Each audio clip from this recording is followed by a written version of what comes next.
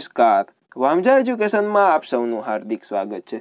આજના વિડીયોમાં, આજના લેક્ચરમાં, આજના ટોપિકમાં આપણે ધોરણ છ વિષય વિજ્ઞાનનો પાઠ બીજો આહારના ઘટકો જોવાના છીએ. આ એમનો પાર્ટ ટુ છે, એટલે કે પીરિયડ બીજો છે, વીડિયો બીજો છે. પહેલો વીડિયો તમે ન જોયો હોય આમનો, તો પણ તમે આ વીડિયો પૂરો કરી અને પછી જરૂરથી જોઈ શકો છો. ચાલો ચાલુ કરીએ આપણે આ વીડિયો સ્વાધ્યાય પોથીમાંથી પ્રશ્ન જવાબ સ્વરૂપે રહેશે અને એનસીઆરટીના નવા પાઠ્યક્રમ મુજબનો છે. ચાલુ કરતા પહેલાં જો તમે આ ચેનલને સબસ્ક્રાઇબ કરેલી ન હોય તો સબસ્ક્રાઇબ કરીને જરૂરથી બે લાઇકન દબાવજો. વીડિયો ગમે તો લાઇક કરજો અને તમારા મિત્રો સુધી શેર કરજો. ચાલો, ચાલુ કરીએ. મિત્રો, આપણે પહોંચ્યા હતા પ્રશ્ન નંબર છ, વૈજ્ઞાનિક કારણો આપીને સમજાવો. આપણે દરેક પ્રશ્ન વાંચશું, શીખશું અને ડિટેલમાં સમજવાની ટ્રાય કરશું, કોશિશ કરશું. તો ચાલો, આપણે જોઈએ સૌ પ્રથમ એનો પ્રશ્ન છે, નાના બાળકોને પ્રોટીનયુક્ત આહાર આપવો જોઈએ, સમજાવો. નાના બાળકો હોય એને પ્રોટીન વાળો જ ખોરાક આપવો જોઈએ એ આપણે આમાં લખવાનું છે. ચાલો જોઈએ. તો કે નાના બાળકોના શરીરના વૃદ્ધિ ઝડપી હોય છે. નાના બાળકોની વૃદ્ધિ શરીરમાં મિત્રો ઝડપી થાય છે. તમે જોવો નાનું બાળક હોય એને એક મહિના પહેલા જોવો અને એક મહિના પછી તેમને જોવો એટલે ફટાફટ વૃદ્ધિ થતી લાગતી હોય છે. ફટાફટ મોટું થતું હોય એવું લાગતું હોય છે. એટલે કે એની વૃદ્ધિ ઝડપી હોય છે.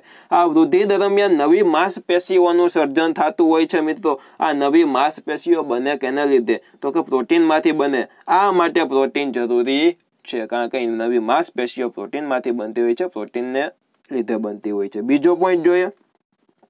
વળી બાળકના શરીરમાં જૈવિક ક્રિયાઓનું નિયમન થાય છે અને ચેપ કે રોગ સામે રક્ષણ મળી રહે તે માટે પ્રોટીન જરૂરી છે. નાના બાળકોને રોગ કે ચેપ ઝડપથી લાગતા હોય છે એટલે એને જાજુ પ્રોટીન દો એટલે એમની સામે રક્ષણ મળી રહે. એના માટે મિત્રો આપણે જાજુ પ્રોટીન જરૂરી નાના બાળકોને જાજુ પ્રોટીન દેવું જોઈએ. તેથી નાના બાળકોને પ્રોટીનયુક્ત ખોરાક આપવો જોઈએ. ત્યારબાદ બીજો પ્રશ્ન, બાળકોને સૂર્યના કુમળા તડકામાં રમવા દેવા જોઈએ. તમને પણ તમારા માતા પિતાએ રમવા દીધા છે? કોમેન્ટ કરો, રમવા દીધા છે કે નથી રમવા દીધા? તડકામાં. હવે જોઈએ આપણે. તો કે બાળકના શરીરમાં હાડકાની વૃદ્ધિ અને મજબૂતાઈ માટે વિટામિન ડી ખૂબ જ જરૂરી છે. મિત્રો, આપણે વિટામિન ડી નો ઉપયોગ જોયો હતો તો કે હાડકાની મજબૂતાઈ માટે વિટામિન ડી જરૂરી છે. એટલે મિત્રો, હાડકાની વૃદ્ધિ એટલે હાડકા મોટા થાય એના માટે અને હાડકાની વૃદ્ધિ માટે વિટામિન ડી ખૂબ જ જરૂરી છે. આ વિટામિન સવારના અને સાંજના સૂર્યના કુમળ તડકામાં રહેવાથી મળે છે. ભર બપોરના ફૂલે ફૂલ ગરમીના તડકામાં રહ્યો તો મિત્રો આ વિટામિન ન મળે. સવારનો અને સાંજનો કુણા તડકામાં રહ્યો તો વિટામિન મળે છે, વિટામિન ડી મળે છે. સૂર્યના કિરણો ચામડી પર પડતા ચામડીમાં વિટામિન ડી ઉત્પન્ન થાય છે. ચોથું જોઈએ, વિટામિન ડી મળવાથી બાળકને સુક્તાનનો રોગ થતો નથી. પ્રશ્ન પૂછે, વિટામિન ડીની ઉણપથી એટલે કે ઘટતું હોય તો કયો રોગ થાય? તો કે સુક્તાનનો રોગ થાય. એમ પૂછે કે વિટામિન ડી હોય તો કયો રોગ થતો નથી? તો સુક્તાનનો રોગ થતો નથી. તેથી બાળકને સૂર્યના કુમરા તડકામાં રમવા દેવા જોઈએ. મજા આવતી હોય તો ચેનલને સબસ્ક્રાઇબ કરજો. વિડીયોને લાઇક જરૂરથી કરી દેજો મિત્રો. તદ્દન ફ્રી છે, મફત છે, જરૂરથી કરો. ચાલો આપણે આટલી જ જોશમાં આપણે પ્રશ્ન નંબર ત્રીજો પણ જોઈએ. આહારમાં લીલા પાંદડાવાળા શાકભાજી લેવા જોઈએ. શું કામ? આહાર એટલે ખોરાકમાં લીલા પાંદડાવાળા એટલે કે લીલોતરીવાળા શાકભાજી લેવા જોઈએ. શું કામ આવું કરવું જોઈએ? તો કે લીલા પાંદડાવાળા શાકભાજીમાંથી આપણા શરીરને જરૂરી વિટામિન, ખનિજ સાર પૂરતા પ્રમાણમાં મળી શકે છે. લીલા પાંદડાવાળા શાકભાજી હોય મિત્રો, એની અંદર ખૂબ જ જરૂરી વિટામિનો હોય, ખનિજ સારો હોય, આ તમામ વસ્તુ આપણને પૂરતા પ્રમાણમાં મળી શકે છે. ઉપરાંત લીલા પાંદડાવાળા શાકભાજીમાં રહેલા રેસાઓ ખોરાકને અન્ન માર્ગમાં આગળ વધવામાં સહાયક બને છે. એની અંદર મિત્રો એવા રેસા હોય કે ખોરાકને અન્ન માર્ગમાં સહેલાઈથી આગળ વધારે છે. એટલે કે ખોરાક સરળતાથી પચી જાય છે, અપચો થતો નથી. એટલે કે ખોરાકને આગળ વધારવામાં સહાયક બને છે. તેથી આહારમાં લીલા પાંદડાવાળા શાકભાજી લેવા જોઈએ. દૂધ સંપૂર્ણ આહાર છે. મિત્રો, ચોથો પ્રશ્ન સમજાવો. સંપૂર્ણ એટલે શું? તો કે ઝાઝા ભાગના પ્રોટીન, વિટામિન તથા ઝાઝા ભાગના વિટા ઝાઝા ભાગના વિટામિનો અંદરથી મળી જાય. ઝાઝા ભાગની વસ્તુ અંદરથી મળી જાય અને સંપૂર્ણ આહાર કહેવાય. આ દૂધ સંપૂર્ણ આહાર છે તે સમજાવવાનું છે. તો કે દૂધમાં કાર્બોદિત, ચરબી, પ્રોટીન, ખનિજ ક્ષારો અને વિટામિન હોય છે. શું શું? તો કે કાર્બોદિત, ચરબી, પ્રોટીન ખનિજ અને વિટામિન હોય છે. આમ દૂધમાં આમ દૂધમાં આહારના બધા જ પોષક દ્રવ્યો હોય છે. ફક્ત દૂધ લેવાથી શરીરના પોષણ માટે જરૂરી આહારના બધા જ પોષક તત્વો મળી રહે છે મિત્રો. તેથી દૂધ સંપૂર્ણ આહાર કહેવાય છે. હવે આવ્યા તફાવતના બે બે મુદ્દા લખવાના. તફાવત લખવાના, કાર્બોદિત આ બાજુ છે જમણી બાજુ છે ચરબી. જોઈએ પેલું કાર્બોદિતનું? તો કે શેમાંથી મળે પેલું બંનેમાં અહીં લખ્યું છે? તો કે તે બાજરી, ઘઉં, ચોખા જેવા ધાન્યોમાંથી અને ગોળખાંડ જેવા ગળિયા પદાર્થોમાંથી મળે છે. પાર્ટ વનમાં પ્રશ્ન જવાબોમાં આપણે જોયું હતું કાર્બોદિત શેમાંથી મળે? શાકભાજીના નામ જોયા હતા, ફળોના નામ જોયા હતા ગળિયા પદાર્થોના નામ જોયા હતા. હવે જોઈ ચરબી શેમાંથી મળે? તો કે દૂધ, માખણ, ઈંડા, માંસ તેમજ મગફળી ખાદ્ય તેલમાંથી મળે છે. મિત્રો, ચરબીમાં મેં આગલા વિડીયોમાં કીધું હતું. આ વિડીયોમાં કહું છું. કે ચરબી જે જે વસ્તુમાંથી તેલ નીકળે એ તમામમાં ચરબી હોય. શેમાં શેમાં? તો કે મગફળીમાં ચરબી હોય, તલમાં તો કે ચરબી હોય. એવી રીતના જેમાં જેમાંથી તેલ નીકળે છે, દરેકમાં ચરબી હોય. ટોપરામાં તો કે ચરબી હોય. ત્યારબાદ આપણે હવે કાર્બોદિતનો બીજો પોઈન્ટ જોઈએ તો કે તે ચરબી કરતા પ્રમાણમાં ઓછી શક્તિ આપે છે અને ચરબી છે એ કાર્બોદિત કરતા પ્રમાણમાં બમણી શક્તિ કે તેથી વધુ શક્તિ આપે છે. કાર્બોદિત જેટલી શક્તિ આપે એના કરતાં વધી બમણી કે એના કરતાં વધારે શક્તિ ચરબી આપતું હોય છે. આગળ આપણે વિટામિન સી અને વિટામિન ડી જોવાનું છે. ચાલો આપણે વિટામિન સી અને ડીના તફાવત જોઈ તો કે પહેલાં શેમાંથી મળે છે તે જોઈ તો કે વિટામિન સી ખાટા ફળોમાંથી મળે છે. વધારે લખવું હોય તો લીંબુ, નારંગી સંતરા તમે લખી શકો. ત્યારબાદ વિટામિન ડી તો કે દૂધ, માખણ, ઈંડા, સૂર્યનો તડકો, માછલી, માછલીનું તેલ અને પ્રકાશમાંથી મળે છે. સૂર્યપ્રકાશમાંથી મળે છે. ત્યારબાદ વિટામિન સીની ઉણપથી સ્કર્વી નામનો રોગ થાય. યાદ રાખજો, વિટામિન ડીની ઉણપથી સુકતાનનો રોગ થાય. કોમ્પિટિટિવ એક્ઝામની તૈયારી કરતા વિદ્યાર્થીઓ માટે એક ખાસ નોંધ કે દરેક જાતના વિટામિન અને એની ઉણપથી ક્યાં રોગ થાય, શું થાય, એમનો મેં પર્ટિક્યુલર વીડિયો બનાવી દીધો છે. જો એ વીડિયો તમારે ગોતવો હોય, તો પ્લેલિસ્ટ છે કોમ્પિટિટિવ એક્ઝામ નામનું. એ પ્લેલિસ્ટમાં તમે નીચે નીચે જયા રાખો એટલે તમને વિટામિનો નામનો આખો વીડિયો પર્ટિક્યુલર જોવા મળે છે. જરૂરથી જોઈ લો મોસ્ટ આઈએમપી તે વીડિયો રહેશે. ચાલો હવે આપણે આગળ જોઈએ. હવે આપણી સામે આવી ગયા જોડકા. તો કે વિટામિન એ એની સામે જવાબ આવે બી એટલે કે રતાંધનાપણું. વિટામિન બી એની સામે આવે ડી એટલે કે બેરી બેરી વિટામિન સી એની સામે આવે એ સ્કરવી વિટામિન ડી એની સામે આવે સુક્તાન. કયા વિટામિન એની સામે આ વિટામિનની ઉણપથી કયો રોગ થાય એ અહીંયા ઉત્તરમાં એબીસીડી લખવાના છે. હવે આવે છે ખરા ખોટા. આયોડિનનું દ્રાવણ પીળા રંગનું હોય તો કયા લેખું સાચું. આહારનો મુખ્ય ઘટક પોષક દ્રવ્ય કાર્બોદિત ગણવામાં આવે તો કે સાચું છે. ઇડલી અને ઢોકળા આથવા આથવણવાળો ખોરાક છે તો કે આ સાચું આથો લાવીએ એમાં. ત્યારબાદ વિટામિન એ આંખ અને ત્વચાને તંદુરસ્ત રાખે છે. સાચી વસ્તુ છે. ખાટા ફળો વિટામિન સી માંથી મળે એ પણ સાચું છે. સ્કરવી એ ખનિજ ક્ષારની ઉણપથી થતો રોગ તદ્દન ખોટું. મેદસ્વિતા તૂટીજન્ય રોગો છે. ખોટું એટલે કે કાંઈ પણ વસ્તુ ઘટતી હોય એમાંથી મેદસ્વિતા થતો નથી. એનિમિયા એ આયોડિનની ઉણપથી થતો રોગ છે. એ પણ ખોટું છે. ત્યારબાદ હવે ખાલી જગ્યા જોઈએ. ખાલી જગ્યા વિટામિન ડીની ઉણપથી થાય છે તો કે સુક્તાન નામનો રોગ વિટામિન ડીની ઉણપથી થાય છે. હવે ખાલી જગ્યાની બીજું છે ખાલી જગ્યાની ત્રુટી એટલે કે ઉણપથી બેરી બેરી નામનો રોગ થાય તો કે વિટામિન બી બી ઉપરથી ધ્યાન રાખી લેવાનું, બેરી બેરી બી બી બેરી બેરી. ત્યારબાદ વિટામિન સીની ત્રુટી એટલે કે ઉણપથી કયો રોગ થાય તો કે સ્કર્વી નામનો રોગ થાય. આપણા આહારમાં ખાલી જગ્યાના અભાવથી રતાંધનાપણું આવે તો કે વિટામિન એની ઉણપથી.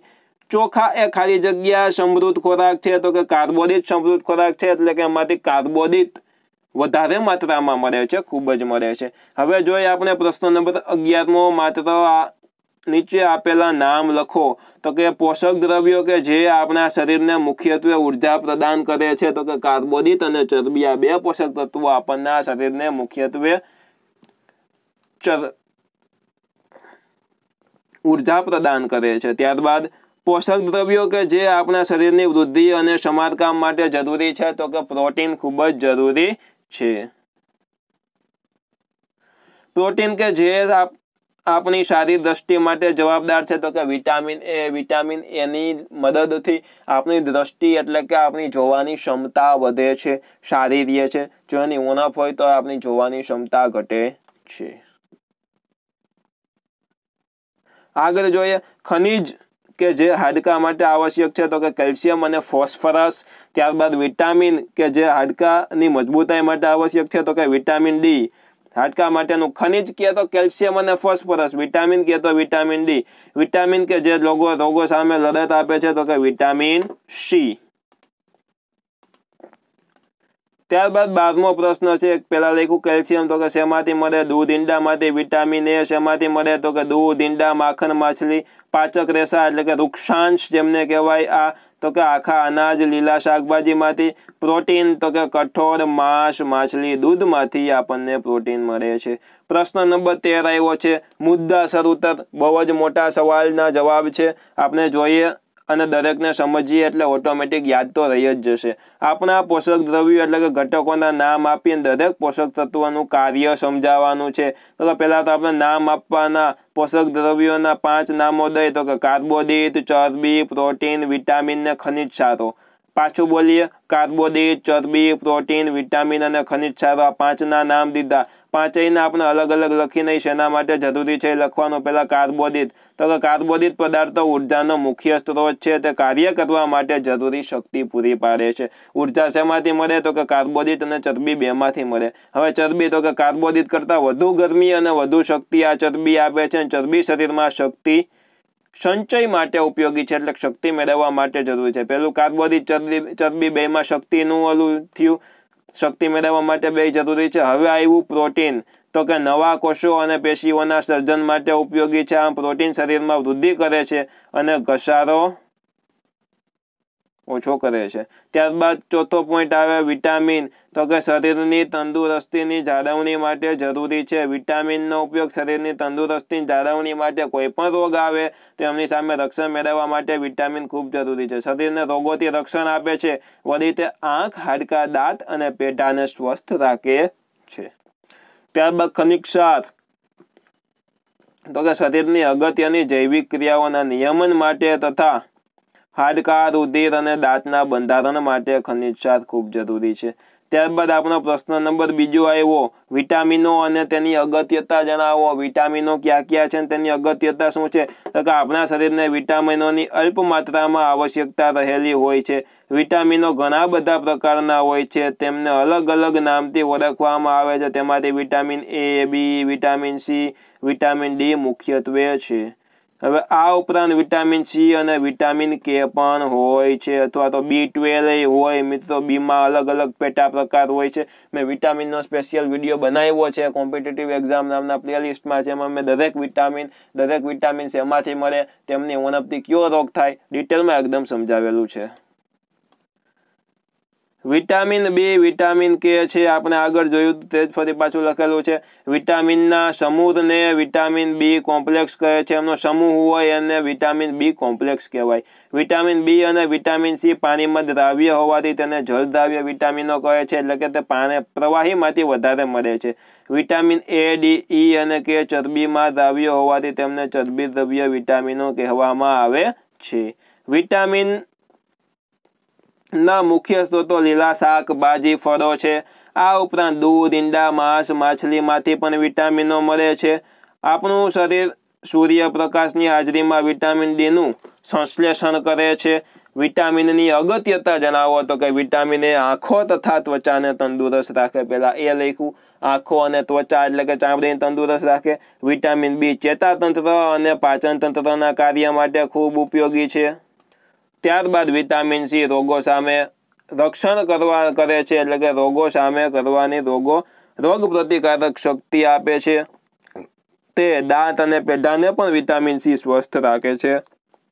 ત્યારબાદ વિટામિન ડી હાડકાની અને દાંતની મજબૂતાઈ માટે ખૂબ જ અગત્યનું છે. આ વિટામિન શરીરને રોગથી રક્ષણ આપે છે તથા નિરોગી અને તંદુરસ્ત રાખે છે. વિટામિન આપણી આંખ, હાડકા, દાંત અને પેઢાને સ્વચ્છ રાખવામાં ખૂબ જ મિત્રો મદદ કરે છે. અહીંયા આપણો આખો પાઠ પૂર્ણ થાય છે. ધોરણ છ પાઠ બીજો પૂર્ણ થાય છે. મજા આવી હોય તો તમે વીડિયો જરૂરથી લાઇક કરો. ચેનલને સબસ્ક્રાઈબ કરેલી ન હોય તો સબસ્ક્રાઈબ કરીને બે લાઇકન દબાવો. અને તથા તમારા મિત્રો સુધી વીડિયો જરૂરથી શેર કરો. અને મિત્રો, કાંઈ પણ પ્રશ્ન હોય તો જરૂરથી કોમેન્ટ બોક્સમાં કોમેન્ટ કરો અને કાંઈ પ્રશ્ન ન હોય, હોશિયાર વિદ્યાર્થી જ હોય, મારી જેમ હોશિયાર જ હોય, બધાને કાંઈ પ્રશ્ન ન હોય તો તમે જણાવો મને કોમેન્ટમાં કે તમને વીડિયો કેવો લાગ્યો છે. ફરી મળશું એક નવા વીડિયો સાથે. ફરી પધારજો. બબાઈ જય હિન્દ. વંદે આવજો. ધન્યવાદ.